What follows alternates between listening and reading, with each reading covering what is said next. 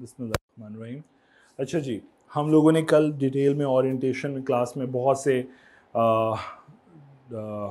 Points discuss किए जो कि, जिनमें से कुछ इंस्ट्रक्शंस थी कि जो करने चाहिए, नहीं करने चाहिए। आज हम स्टार्ट करते हैं बाकायदा अपनी क्लास का और, जिस तरह आपके सामने ये कंटेंट लिस्ट मैंने शेयर की चैप्टर नंबर वन से चैप्टर नंबर एटीन तक। अब ये टोटल 18 चैप्टर हैं। बहुत से ऐसे चैप्टर हैं जो उन्होंने जान के आपको डराने के लिए सप्लेट कर दिए। मैंने मेरा ख्याल है कल आप लोगों से लास्ट मार्किंग स्कीम शेयर की है कि मार्किंग स्कीम क्या है? किधर से कितना पेपर आ रहा है? नहीं की। ओके तो बताओ मुझे मैं बता देता हूँ भी सो so, हमारा मुकम्मल नहीं हुआ था इसका मतलब है डिस्कशन ओके चलो। ये है जी, ये मेरा ख्याल है, ये एरिया हमने डिस्कस नहीं किया था कल। आपके सिलेबस के अंदर ये कुछ एक्ट शामिल हैं बिज़नेस लॉ में। कॉन्ट्रैक्ट एक्ट है 1872 जो हम पढ़ेंगे। इसकी टोटल मार्क्स जो टेस्टिंग है दैट इज़ अराउंड 50 अब इसमें दोनों तरह के मार्क्स शामिल हैं, जिसमें, बल्कि तीनों तरह के। एम भी 50 में ही। एम भी, आपके डिस्क्रिप्टिव भी और आपकी केस स्टडीज़ भी। और जो चैप्टर्स आई कैप के कवर करने पड़ते हैं इस एरिए को, इस एक्ट को कवर करने के लिए that is chapter two to chapter ten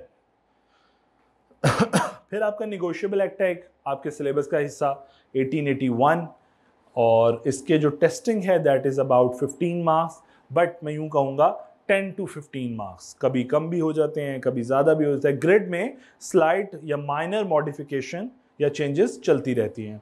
तो 15 मार्क्स अब इसके लिए हमें दो चैप्टर कवर करने पड़ेंगे chapter 14 and chapter 15 partnership act 1932 ये भी हमारे सिलेबस का हिस्सा है। 15 मार्क्स की टेस्टिंग वंस अगेन कहूँगा 10 टू 15 मार्क्स बल्कि some times more than 15 marks और अल्टीमेटली इसके अंदर जो चैप्टर कवर होते हैं दैट इज़ 11 टू 13 चैप्टर फिर लीगल सिस्टम है, पाँच से सात नंबर आते हैं चैप्टर नंबर वन पूरे का पूरा। और आखिर में कुछ क्रिमिनल एक्ट हमारे सिलेबस में डाल दिए गए हैं। हम हम पहले, इससे पहले बिज़नेस लॉ पढ़ रहे थे।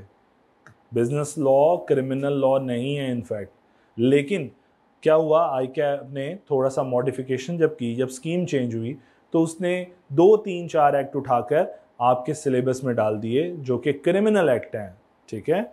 अच्छा अब एक चीज़, अभी समझाऊँगा क्रिमिनल सिविल क्या है, जो भी है वट लेकिन क्रिमिनल एक्ट आपके सिलेबस का हिस्सा बने। कंप्लीट नहीं कंप्लीट नहीं, सिर्फ़ दो, अगर आप चैप्टर उठा के देखोगे तो आपको पता लगेगा, दो पेजेस या तीन पेजेस का मैक्सिमम चैप्टर है। इसका मतलब ये हुआ, वो पूरा एक्ट नहीं है। उसके शुरू के डेफिनेशन और कुछ सेक्शन एक, दो सेक्शन हर एक्ट के उसने उठा के आपके सिलेबस में डाल दिए। टेस्टिंग के लिए सिर्फ़। सो पंद्रह नंबर यहाँ से टेस्ट होते हैं। 16 टू 18 चैप्टर जो है आपकी बुक के इनफैक्ट ये कवर होते हैं, ठीक है? अब मैं कुछ इंपॉर्टेंट बातें, ये तो वो है जो सामने लिखी हुई हैं। बेटा, ये किसी ज़माने में स्कीम से पहले एक चैप्टर होता था। डराने के लिए क्या कर दिए? तीन। स्प्लिट कर दिया सिलेबस को। ये एक चैप्टर था। आपकी कैफ इससे पहले जो थ्री बुक होती थी, उसका एक चैप्टर था। स्प्लिट कर दिया। ये एक चैप्टर होता था निगोशियबल का। स्प्लिट करके दो बना दिए। ये चैप्टर है ही नहीं इनफैक्ट एक एक सेक्शन दो दो सेक्शन है. लेकिन उसमें, उसने चैप्टर बना दिए. क्या मेरी बात समझ आ रही है? अच्छा ये है ही वैसे एक चैप्टर अब ज़रा समझाता हूँ, इस सारे में आसान मार्क्स कहाँ पे होते हैं? जिस तरह, अगर मैं कहूँ पेपर में आसान मार्क्स कहाँ से मिलते हैं, या ये पेपर आसान पास करना क्यों ज़रूरी है, कि कितना आसान क्यों है तो उसकी रीज़न है। आपको सबसे पहले मिलने हैं पेपर में 15 मार्क्स के एम ठीक है जी? ये 15 मार्क्स आ गए। अब आगे चलो। ये जो A M L anti money laundering thanks to Nawaz family के उन्होंने बच्चे बच्चे को रियलाइज़ करा दिया कि मनी लॉन्ड्रिंग क्या होती है, ठीक है? तो A M L electronic crimes और कंपटीशन एक्ट ये एक्ट जो हैं, ये वो एरिया है जो थर्टिकल एरिया है डिस्क्रिप्टिव टेस्टिंग यहाँ से प्रैक्टिकल केस स्टडी बन ही नहीं सकती। डेटा सिलेबस ही ऐसा है। एक्ट लिखा ही ऐसे अंदाज से हुआ है कि वहाँ से केस स्टडी नहीं बन सकती। तो ये मार्क्स वो होंगे जो गिन के आप, गिन के सात पेजेस शायद मेमोराइज कर लो या अच्छे तरीके से रीड कर लो। मैं तो मेमोराइज बोलता हूँ, उसकी रीज़न बोलता हूँ, उसकी वजह ये है कि ये वो मार्क्स है जो मैं चाहता हूँ स्टूडेंट लूज ना करे। मुफ़्त के हैं। बिल्कुल मुफ़्त के हैं। ठीक है? कि आपके सामने सवाल आना है वट इज़ द करेक्टरिस्टिक्स वो उसी तरह, जिस तरह बोर्ड में आता है, इस तरह का सवाल आना है। कि यार डिफाइन कर दें ये डिफाइन कर दें ये डेफिनेशन डिफाइन कर दें फलां। स्ट्रेट फॉरवर्ड वो बुलेट पॉइंट्स लिखे होंगे, आपने वो चार चार बुलेट पाँच पाँच बुलेट लिख के मार्क्स पूरे ले लेने हैं। क्या मेरी बात समझ पा रहे हो? तो बहुत आसान सा एरिया है जो मेरा दिल करता है कि स्टूडेंट कभी लूज ना करे। तो इसलिए मैं बोलता हूँ, बेटा, इस वाले एरिए को नहीं भी दिल कर रहा है मेमोराइज करने का डेफिनेशन मेमोराइज कर लेना पॉइंट्स मेमोराइज कर लेना। दो दो दो पेज हैं। टोटल इन तीन चैप्टर्स के पेजेस होंगे सेवन या एट मैक्सिमम जिसमें एग्जाम्पल्स भी होंगी वो तो वैसे ही छोड़ देनी हमने। सेवन या एट टोटल पेजेस हैं। सो कंटेंट बहुत कम है मार्क्स बहुत अच्छे हैं। और है भी वो डिस्क्रिप्टिव uh, कोई ख़ास सवाल तो आना नहीं स्ट्रेट फॉरवर्ड डिस्क्रिप्ट डिस्क्राइब कर दें नरेट कर दें ऐसे वर्ड्स आने हैं। सो कंसिडरिंग दैट मेरा ये मानना है ये पंद्रह नंबर बिल्कुल आसान नंबर होते हैं। चैप्टर नंबर सिक्सटीन, सेवनटीन और एटीन से। ये आसान पेपर है, आसान एरिया है। मैं ये नहीं कहता पंद्रह पूरे आएँगे, हो सकता है बारह हो हो सकता है तेरह हो हो सकता है दस हो। दस से पंद्रह का रेंज रखें, ठीक है? अब ये एरिया हो गया। इसके बाद ये लीगल सिस्टम है, नहायत boring chapter to be very honest नहायत बोरिंग चैप्टर क्योंकि आपने अगर याद हो, आपने कभी पाक स्टडी में वो पढ़ा था, उन्नीस सौ तिहत्तर का आइन कॉन्स्टिट्यूशन 1973 जिन्होंने इंग्लिश में पढ़ी है पाक स्टडीज़ कितना बोंगा सा था। मुल्क का सदर मुसलमान होगा। लाइट याद आई बातें कुछ थोड़ी सी? ये वो है लीगल सिस्टम है। क्वाइट बोरिंग लेकिन मजबूरी है, क्या ना करें लीगल सिस्टम के अंदर कुछ टॉपिक्स हैं एक दो, जो अच्छे एंटरटेनिंग टॉपिक्स हैं, जिनमें मज़ा आता है पढ़ने का। उनको छोड़ के बाकी सारे बोरिंग है। बहुत ही बोरिंग है। कि वो एक दफ़ा याद करेंगे, कल को याद आएगा कल को दोबारा देखेंगे, याद ही नहीं आएगा कुछ क्या लिखा हुआ है। है ऐसा चैप्टर क्योंकि सिस्टम है ना लीगल सिस्टम है, कैसे चल रहा है? ठीक है लॉ कैसे बनता है? बात समझ आ रही है? तो वो थोड़ा सा बोरिंग हो जाता है। उस वजह से ये चैप्टर बहुत आसान है। टेस्टिंग डिस्क्रिप्टिव है स्ट्रेट फॉरवर्ड पूछा जाएगा। बताओ अच्छा नेशनल असम्बली कैसे काम करती है? प्रोविंशियल असम्बली की करेक्टरिस्टिक्स क्या हैं? सपोज़ वैसे बात कर रहा हूँ। प्रेसिडेंट के पावर्स क्या हैं? फ़ंक्शन क्या हैं? सपोज़ मैं वर्ड्स बोल जा रहा हूँ। तो वो बुलेट्स लिखे हुए हैं। आपने सिर्फ़ याद करके रिप्रोडक्शन करनी है। तो मेरे मुताबिक आसान है बट लेकिन याद करना बहुत अजीब है। पढ़ते हुए बहुत कोफ्त होगी। लेकिन मार्क्स तो बहुत आसान है ना फाइव लीगल सिस्टम का एक चैप्टर करना है। चैप्टर वन सो ये वो नंबर हैं जो मुफ़्त के हैं। अब बस इतने ही रखूँगा, इससे ज़्यादा नहीं करूँगा, क्योंकि उससे ज़्यादा मैं फिर बताता हूँ कैसे होंगे। ये कितने मार्क्स हो गए, देखो? थर्टी फाइव अब 35 मार्क्स के लिए एक रूल चलता है हमारे सी में 1.8 मिनट्स पर मार्क ये रूल होता है ना, अगर आप उससे डिवाइड मल्टीप्लाई करके देखो ना 1.8 मिनट्स पर वन मार्क एक मिनट के लिए, एक मार्क्स के लिए आपके पास तकरीबन एक शरी आठ मिनट होते हैं। आप इसे मल्टीप्लाई करके देखोगे आपके तीन घंटे पूरे हो जाएँगे। सो टेक्निकली डिवाइड किया, सिर्फ़ और कुछ नहीं किया। टोटल तीन घंटे के मिनट्स निकाल के उसे डिवाइड कर दिया मार्क्स हंड्रेड के ऊपर। क्या बात समझ आ गई? अब अगर 35 मार्क्स गेन करने हैं तो इसको मैं मल्टीप्लाई कर देता हूँ 1.8 से, कि कितने मिनट्स में ये पेपर होना चाहिए? तो अंदाजन कितने मिनट्स बनते हैं? ज़रा देखिए मैथ्स करिए, मुझे नहीं पता। 1.8 से करके देखिए हाँ? 60 मिनट्स अप्रॉक्सीमेटली इतना आ रहा है, देख लो एक दफ़ा।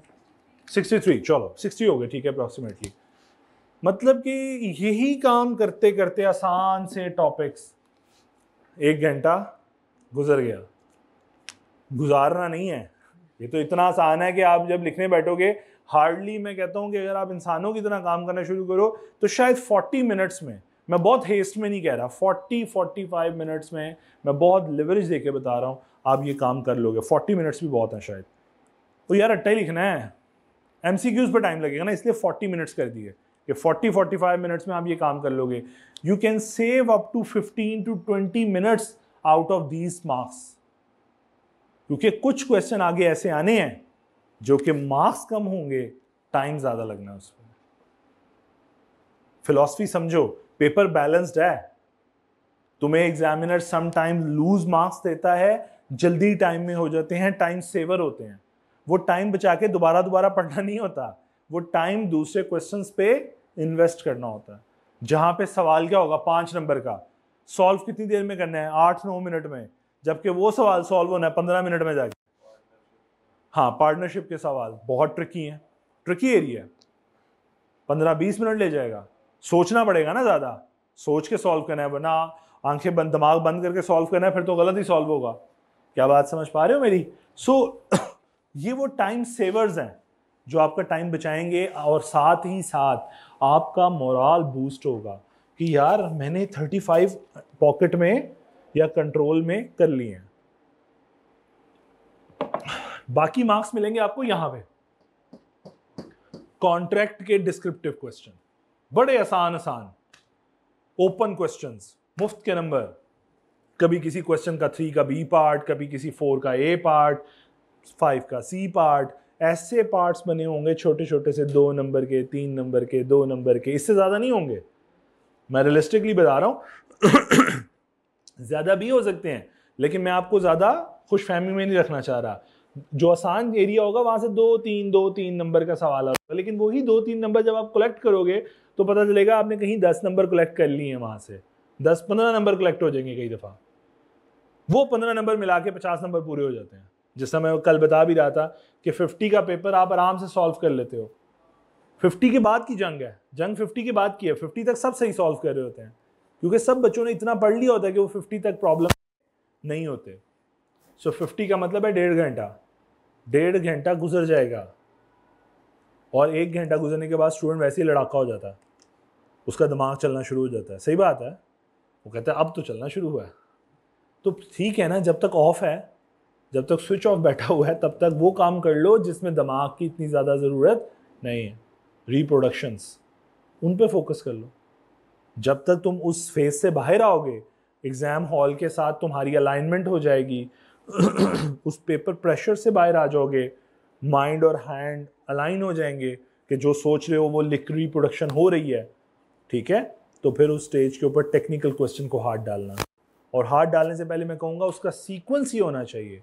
कि आप अगर कोशिश करें कि पहले आप कॉन्ट्रैक्ट के सवाल सॉल्व करें, उसके बाद निगोसिएशन के, और partnership should be the last one to touch क्योंकि सौ चालीस वॉट का सीधा झटका लगता है इसके सवाल को पढ़ के। सिलेबस बहुत आसान है। लिटरली तीन चैप्टर इतने आसान हैं कि पढ़ते हुए आपको लगेगा इसमें टीचर की महारत क्या है कि वो पढ़ा रही है।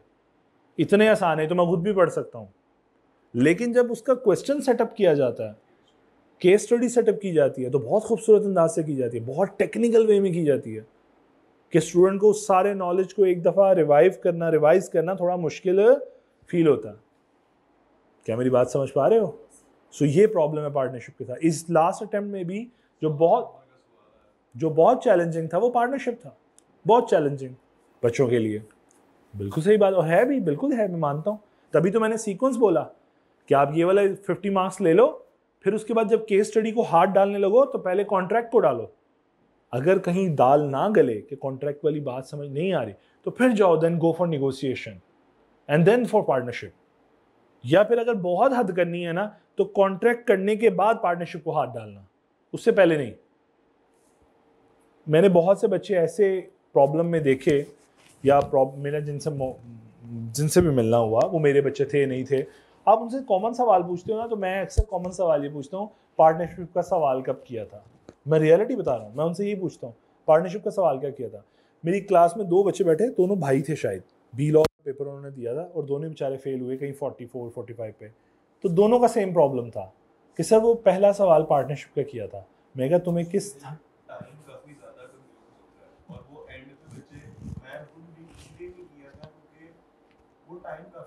हाँ।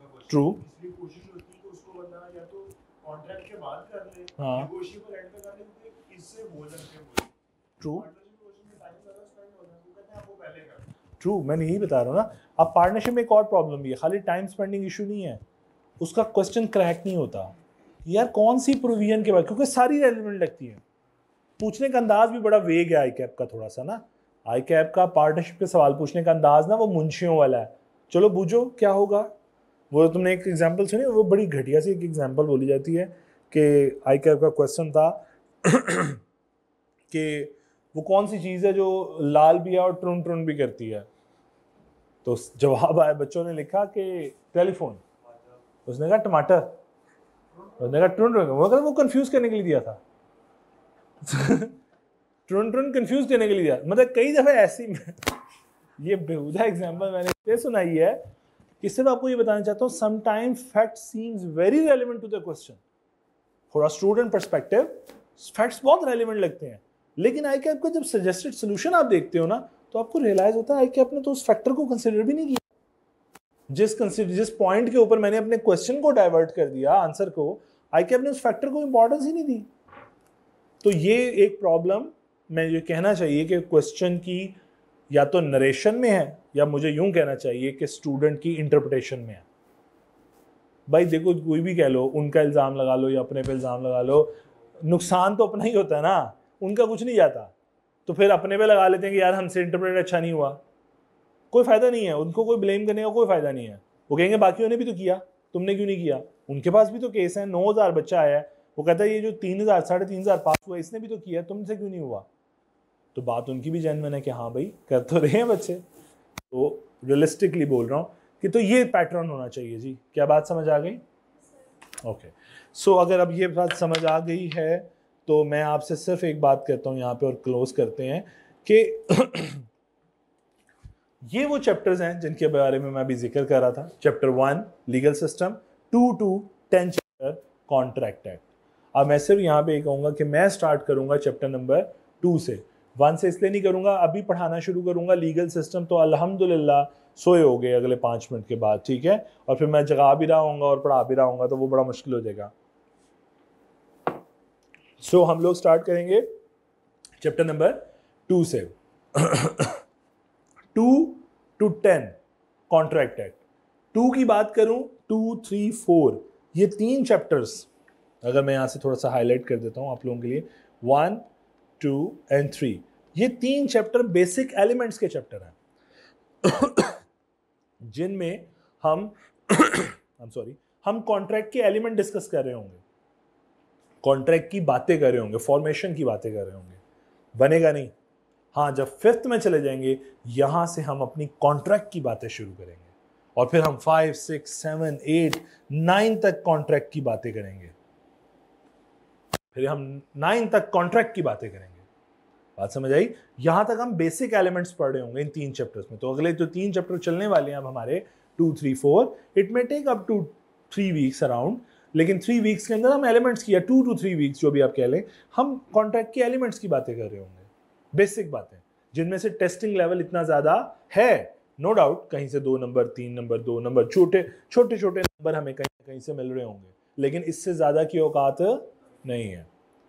असल प्रॉब्लम असल जो टेस्टिंग शुरू होनी है, वो यहाँ से शुरू होनी है चैप्टर फाइव से। लेकिन ये तीन चैप्टरों में से भी नंबर आते हैं। अब मैं आपको पास पेपर दिखाऊँगा भी, क्या ये भी हुए हैं। फ्रॉड पे मिस रिप्रेजेंटेशन पे, दो दो, तीन तीन, दो दो, तीन तीन नंबर का स्नैरियो बना बना के दे देता है। कहने को वो तीन नंबर किसी सवाल का हिस्सा होते हैं, लेकिन आते तो इसी चैप्टर से है ना। सो टेस्टिंग है इग्नोर नहीं कर सकते। लेकिन टेस्टिंग का लेवल डिफरेंट है। दो से तीन, दो से तीन मार्क्स का सवाल। यहाँ से फिर प्रॉपर क्वेश्चन शुरू होते हैं। और आखिरी चैप्टर इसलिए हाईलाइट नहीं किया चैप्टर टेन, क्योंकि वो एजेंसी का चैप्टर है। है कॉन्ट्रैक्ट का हिस्सा, लेकिन एक बिल्कुल डिफरेंट डोमेन है। Agency contract. तो वो चैप्टर टेन भी इसी कॉन्ट्रैक्ट का हिस्सा है। क्या बात समझ आ गई? अच्छा सो अब हम चैप्टर टू से अपना आगाज़ करेंगे। अच्छा एक दफ़ा और आगे भी देख लो। जिस तरह इलेवन ट्वेल्व और थर्टीन ये तीन चैप्टर क्या हैं पार्टनरशिप के? निगोशियबल का फोर्टीन और फिफ्टीन सिक्सटीन सॉरी फोर्टीन और फिफ्टीन और ये वो तीन चैप्टर्स हैं जो क्रिमिनल एक्ट से डील करते हैं क्रिमिनल लॉ से। Anti money laundering electronic payment data protection act competition act arbitration act ये ये कंपटीशन ये सारे क्रिमिनल लॉ है और बिल्कुल दो दो पेजेस सो so, हम क्या करेंगे? हमारी एक स्ट्रेटजी होगी। हम यहाँ से जब छठे, सातवें चैप्टर को क्लोज कर रहे होंगे तो साथ ही मैं आपको यहाँ से सिक्सटीन चैप्टर पढ़ा दूँगा। फिर ऊपर से शुरू करेंगे कॉन्ट्रैक्ट फिर एक बीच में से चैप्टर गुजार दूँ। तो मैं करते करते निगोशिएबल और इनके दरमियान ही ये तीन चैप्टर पढ़ा दूँगा। प्रॉपर पढ़ेंगे, दो दिन लगा के, तीन दिन लगा के, जो भी है। लेकिन वो पढ़ाने का मकसद ये है कि यार ये मुफ़्त के नंबर हैं। इसका टेस्टिंग फ़ेज़ से गुजर जाए। प्लस बच्चा इनको जितनी दफ़ा पढ़ सके, वो पढ़ ले पेपर से पहले प्रेप लीव से पहले। रट्टा लगाना तो लगा ले आसान लफ्ज़ों में। क्या बात समझ आ रही है? मैं फिर बोलता हूँ, मैं रट्टे के अगेंस्ट हूँ, लेकिन रट्टा इसलिए सजेस्ट कर रहा हूँ कि इन तीनों चैप्टर्स के अंदर डेफिनेशंस करेक्टरिस्टिक्स इनके अलावा कुछ है ही नहीं। तो मैं कैसे कह दूँगी आप पढ़ेंगे तो आपको याद हो जाएगी, आप लिख लोगे, नहीं लिख सकते। डेफिनेशन रिप्रोड्यूस नहीं हो सकती सेम लेवल पे, जिस लेवल पे एग्जामिनर लॉ में लिखी हुई है। हाँ जो प्रोविज़न ऑफ़ लॉ है, वो आप एक्सप्रेस कर लेते हो, ये बात मैं मान लेता हूँ, ठीक है जी? क्या बात समझ आई तो चैप्टर नंबर हम आगाज़ करते हैं अपने चैप्टर नंबर टू का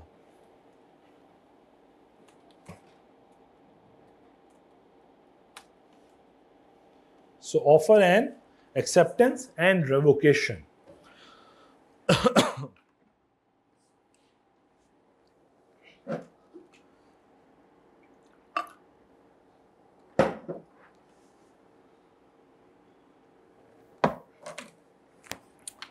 So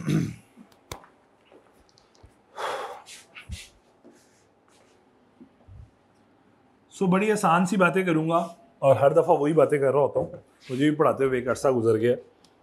सेम ही बातें चल रही हैं।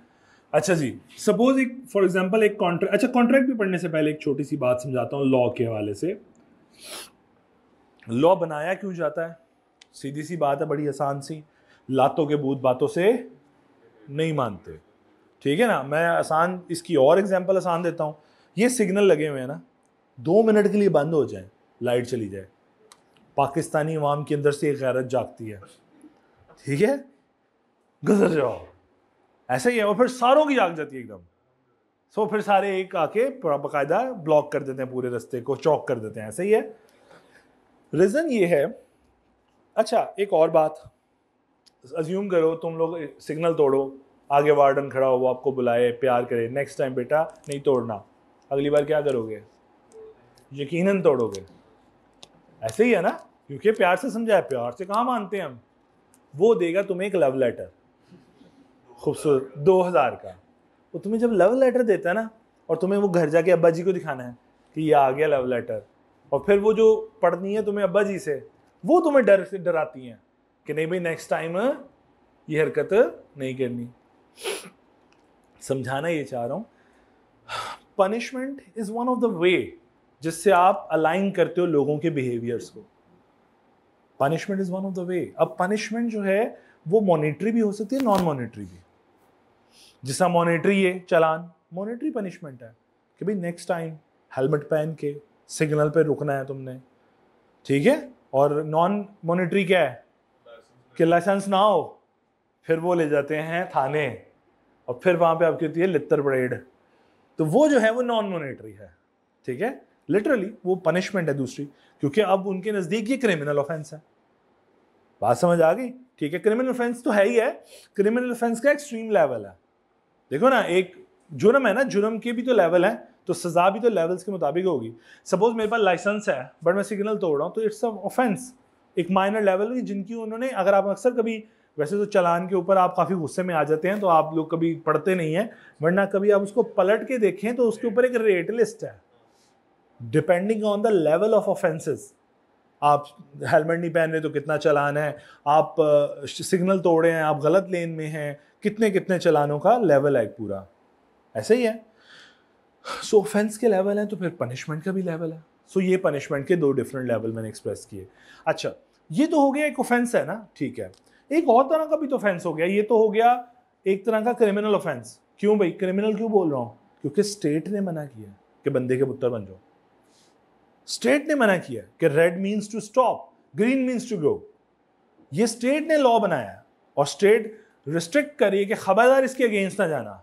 Means an act is going to be forbid is going to be so called deemed as forbidden by law ठीक है? एक्ट फॉरबिडन बाय लॉ कि भाई नहीं करना ये वाला काम। ठीक है? अब लॉ ने मना किया और उसके अगेंस्ट जाओगे तो एक्चुअली में आप एक क्रिमिनल ऑफेंस कमिट कर रहे हो। क्या बात समझ आई? इसी तरह ये जो मोटे मोटे ऑफेंस होते हैं मर्डर कर देना, मैं दो चाकू मार दूँ इसको, एक गोली मार दूँ, ये सारे क्या हैं? इनफैक्ट क्रिमिनल ऑफेंस है, ठीक है? यानी स्टेट ने मना किया हुआ ऐसे एक्टिविटीज़ जिन्हें स्टेट ने मना किया है और आप वो कमिट करते हो तो आप क्रिमिनल ऑफेंस कमिट कर रहे हो। आप स्टेट के अगेंस्ट खड़े हो गए तो फिर स्टेट आपके अगेंस्ट खड़ी हो जाएगी, सीधी सी बात है। क्या बात समझ आ रही? और दूसरा क्या है? क्रिमिनल की जगह एक दूसरा पार्ट है and that is civil offence civil offence में स्टेट इन्वॉल्व नहीं है। आप स्टेट के अगेंस्ट नहीं जा रहे हो। जिस फॉर एग्ज़ाम्पल मैंने इसको गुड्स बेची हैं। बेटे गुड ने जहीर। मैंने जहीर को गुड्स बेची हैं, पचास हज़ार रुपए की। जहीर मेरे पैसे नहीं दे रहा। अब इसमें स्टेट इन्वॉल्व नहीं है कोई ऐसा एक्ट नहीं है जो फॉरबिडन बाय लॉ मैंने गुड्स बेची हैं वो लॉफुल गुड्स हैं। May be the products may be the chemical may be the whatever जो आप कंज्यूम कर लो जो भी आप अज्यूम कर लो। सो so, मैंने गुड्स बेची हैं ये मेरा मेरी लॉफुल गुड्स हैं ठीक है? अब इसने एक एक देखो किसी भी दो पर्सनस के एग्रीमेंट या कॉन्ट्रैक्ट के दरमियान या दो पर्सन के प्रॉमिस के दरमियान एक का राइट दूसरे की ऑब्लिगेशन है। मेरी ऑब्लिगेशन थी to deliver goods to Zaheer Zaheer की ऑब्लिगेशन है to deliver money to pay for goods अब इसमें स्टेट नहीं है, हम दो लोगों के आपस की बात है। अब इसमें अगर ये डिफ़ॉल्ट कर देता तो ये दो लोगों के दरमियान का मसला है। इसे बोलते हैं सिविल ऑफेंस मैंने किसी का राइट डैमेज कर दिया। मैंने नहीं सॉरी इसने जहीर ने। जहीर ने मेरा राइट डैमेज कर दिया। समझो, ये देखो ज़रा। मैं यहाँ पे बनाता हूँ। ये सलमान बन गया जी, और ये जहीर बन गया सपोज़ अज्यूम करें। सलमान ने गुड्स डिलीवर किए हैं, और जहीर ने पेमेंट करनी है। एरो के सिग्नल्स आपको डायरेक्शन शो करेंगे। सलमान की ऑब्लिगेशन है to deliver goods to Zaheer. Once the promise made एक दफ़ा वादा वुदा हो गया तो फिर सलमान भी मैं ले मैंने वे में समझा रहा हूँ, सलमान की ऑब्लिगेशन है टू डिलीवर गुड्स जबकि जहीर की ऑब्लिगेशन है to pay for the goods अब सलमान की ऑब्लिगेशन जहीर का राइट है, और जहीर की ऑब्लिगेशन टू पे सलमान का राइट है. अगर जहीर अपनी ऑब्लिगेशन पे नहीं करता तो मेरा राइट डैमेज होगा. मेरा राइट डैमेज हुआ तो मैं कोर्ट ऑफ़ लॉ में जाऊँगा. अपने राइट को एक्सरसाइज करने के लिए, बचाने के लिए प्रोटेक्ट करने के लिए राइट अब ये दो लोगों के दरमियान की बात है। इसमें स्टेट इन्वॉल्व नहीं है। दो लोगों ने एक प्रॉमिस किया, एक ने तोड़ दिया। तो लॉ इस तरह के ऑफेंस को आप क्या बोलोगे? सिविल ऑफेंस ऑब्वियसली फिर क्रिमिनल ऑफेंस को डील करने के लिए आपके पास क्रिमिनल लॉ की गाइडेंस मौजूद है और सिविल ऑफेंस को डील करने के लिए सिविल लॉ अब एक और बात यहाँ से। सिविल लॉ भी आगे दो हिस्सों में डिवाइड हो जाता है। एक को कहते हो बिज़नेस लॉ और एक को कहते हो other than business law other civil laws कह लो।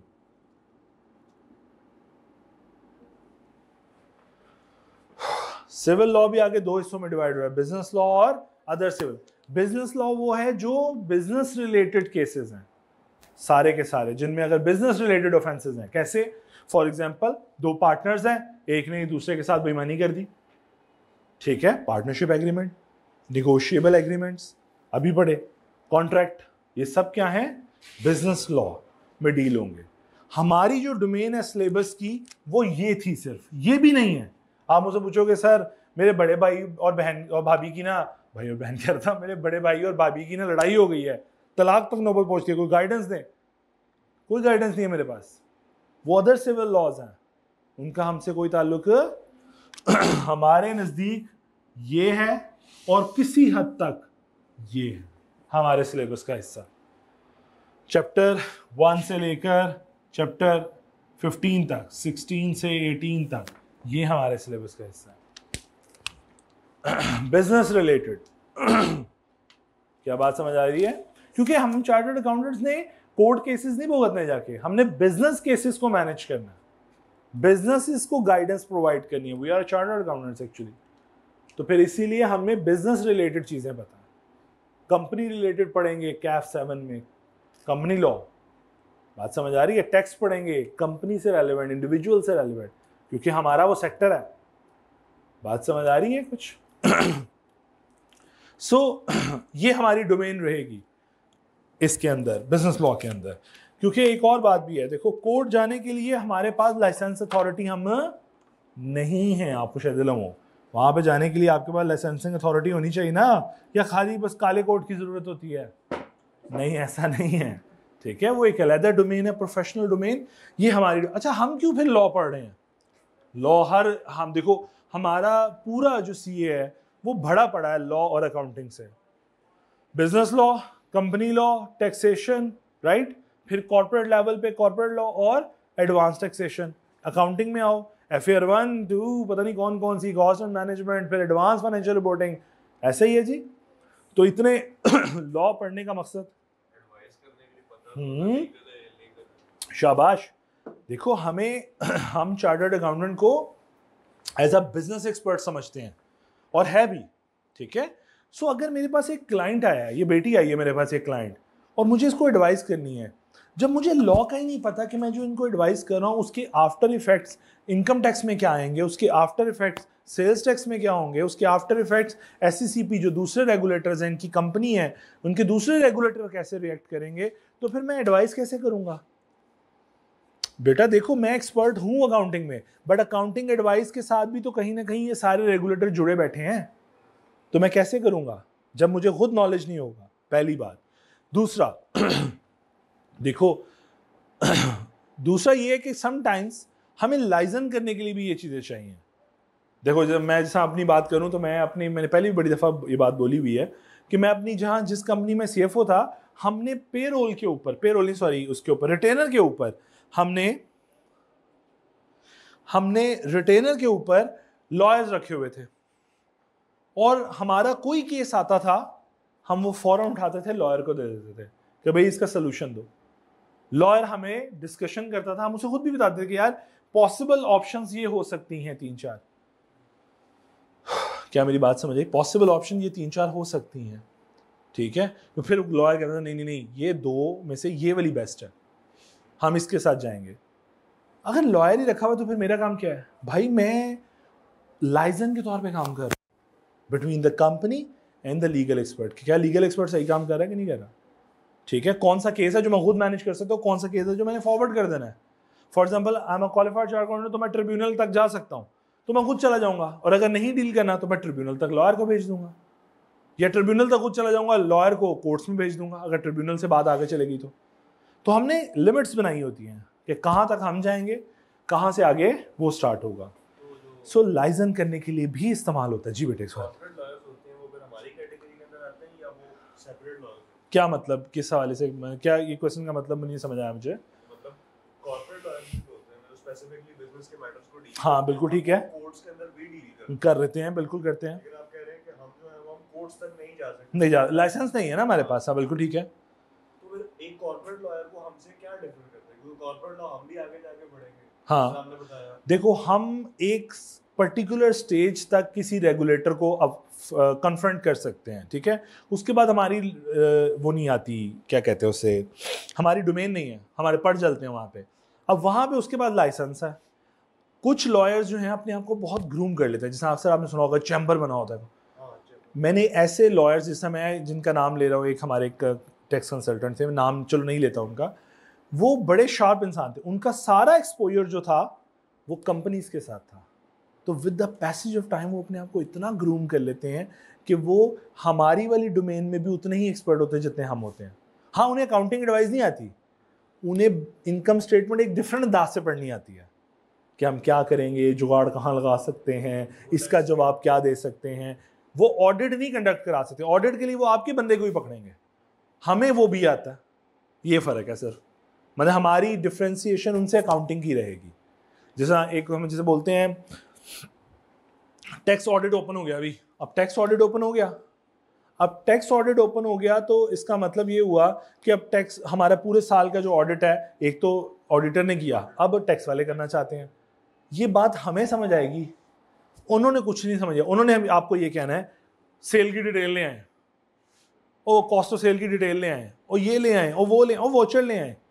उनको नहीं पता ही क्या चीज़ें हैं। उन्होंने बस अपने, अपनी चीज़ें पूरी करके अपना रिप्लाई तैयार करना। तो ये एक डिफ्रेंसीशन हमेशा रह जाती है। वक्त के साथ साथ वैसे वो इतने मेच्योर हो जाते हैं कि वो हमारी इन चीज़ों को समझना शुरू हो जाए। क्योंकि देखो, मैं एक अकाउंटेंट के साथ बैठा, जब उससे डिस्कस कर रहा हूँ तो वो भी तो मुझे कुछ सिखा रहा होगा। तो अल्टीमेटली वो हमारी डोमेन में भी कहीं ना कहीं आ जाते हैं। बिल्कुल आ जाते लेकिन बहुत लिमिटेड पोर्शन है। बाकी सारे सही, मज़ेदार क्लाइंट को इतना खूबसूरत डबोते हैं, इतना खूबसूरत। कि क्लाइंट हमारे पास खुशी खुशी आता है ढेर सारे पैसे भी देता है और कहता है आइंदा से आपके पास रहूँगा लॉयर के पास नहीं जाऊँगा। तो ऐसे भी लॉयर मौजूद हैं ऐसे फिर चार्टर अकाउंटेंट भी मौजूद हैं जो ऐसा डब होते हैं कि फिर वो कहता है मैं ताडे कोल कभी नहीं आवागा मैं लॉयर दे कोल ही रवागा सो so, दोनों तरह का जो रिस्क है वो मौजूद है। समटाइम क्लाइंट हमारे पास depend on the quality of service देखो मेरा मानना है कि रेगुलेटर के साथ जब आप डील कर रहे हो if you don't know how to deal with it then stay out of it लेकिन हम क्या कहते हैं हम लालच में कि पैसे आ रहे हैं बिज़नेस आ रहा है ले लो। ट्रू बट फ़र्स्ट टाइम भी करने का तरीका होता है ना। मतलब मैं ऐसी रिटर्न जानता हूँ। रिसेंटली एक दोस्त ने क्लाइंट रेफर किया। अच्छा मुझे सिर्फ़ इतना बताओ। बैलेंस शीट जानते हो? एसेट लाइबिलिटी टैली होते हैं ना एसेट और इक्विटी एंड लाइबिलिटी तो अगर ऐसी रिटर्न फ़ीड हुई हो जिसमें एसेट और लाइबिलिटी टैली ना हो और रिटर्न जमा करा दी हो कोर्ट में और उसमें एफबीआर में। तकरीबन चौदह पंद्रह लाख का डिफरेंस था ज़्यादा नहीं था। वो एफबीआर तो सिस्टम है अकाउंट वो उसने तो एक्सेप्ट कर लेना आपने जो पंच करना है। मतलब किधर से? देखो एफ़ बी आर में एक रिटर्न फ़ीड हो रही है ना वहाँ अभी पिछले दिनों एक रेगुलेशन आया था कि आप बैलेंस शीट अपलोड कर दें।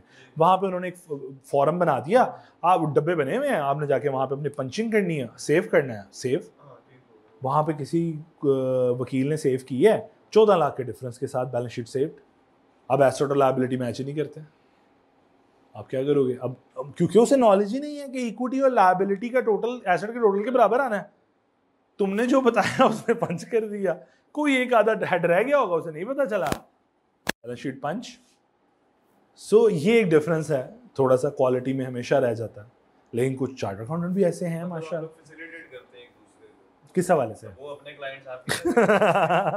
नहीं नहीं हम हमारी अटमोस्ट कोशिश ये होती है कि हमारा देखो क्वालिटी तो दे रहे हैं और क्या दे रहे हो? सर्विस ही तो दे रहे हो।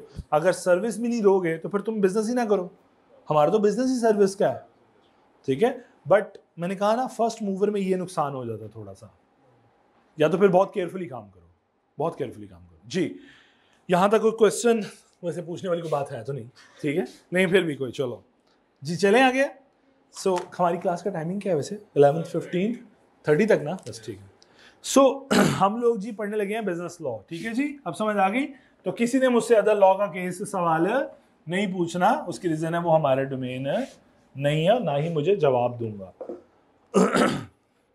अच्छा जी बस एक छोटी सी बात डिस्कस करके क्लोज करते हैं।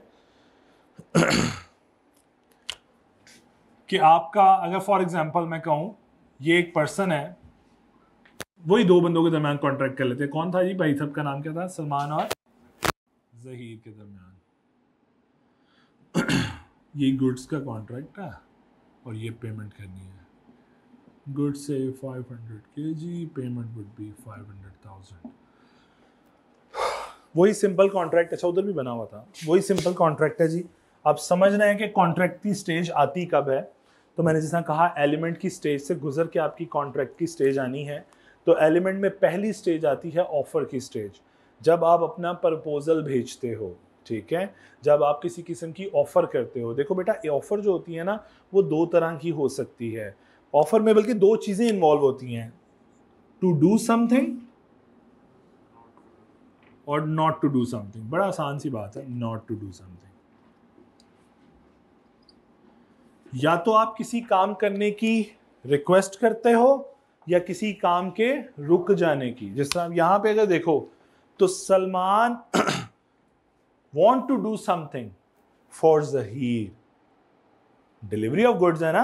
Salman wants to do something for Zaheer simply so ये प्रपोजल है कि यार मैं आपको 500 सौ के जी डिलीवर कर देता हूँ एट द रेट ऑफ़ से कितने वाला रेट बनाया?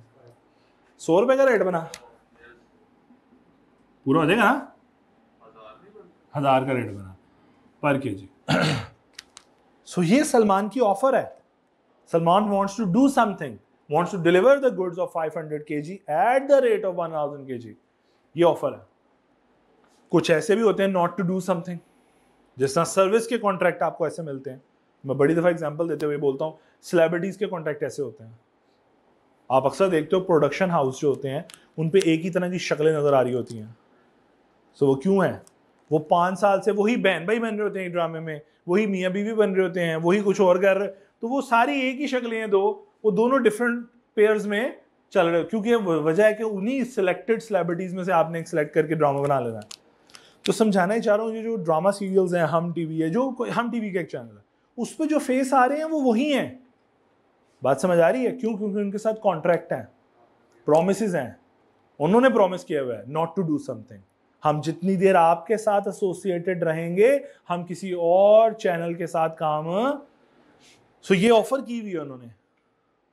ठीक है? समझ आ रही बात? So the one who is making an offer to do something और नॉट टू डू समथिंग वो गुड्स हो सर्विस हो whatever the one who is making an offer is called offer बस मैं, मेरा हालत क्लोज करने का टाइम आ गया, बच्चे आने शुरू.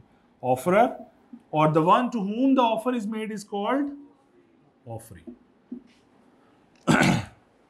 simple और ऑफरी के पास राइट है कि वो एक्सेप्ट करे या रिजेक्ट करे. एक्सेप्ट करे या रिजेक्ट करे, ये ऑफरी का राइट है. इफ़ इट बिकम्स एक्सेप्टेड तो इन्हीं दोनों के दरमियान बन जाएगा प्रॉमिस लॉ से प्रॉमिस करता है। सो प्रॉमिस की definition once offer is accepted by the offeree it becomes a promise क्या बात समझ आ गई? और फिर इसी ऑफरर का दूसरा नाम यूज़ हो जाएगा प्रोमिजर और प्रोमिजी बस यहीं से इंशाल्लाह आगाज़ करेंगे कल। अल्लाह ताला आपको पसंद है थैंक यू